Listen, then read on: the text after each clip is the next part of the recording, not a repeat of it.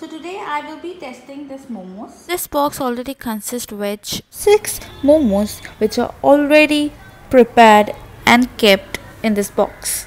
What we have to do is we'll have to follow the instruction but this is how it really looks before heating it. Follow the instructions given behind the box. It's for 80 rupees. We'll just open this halfway through as I'm doing. You also get a sauce along with it which also needs to be heated. So just put in the oven for 50 seconds. This is how it really looks. It was really tasty. I do recommend you get it online and also on Big Bazaar. Bye.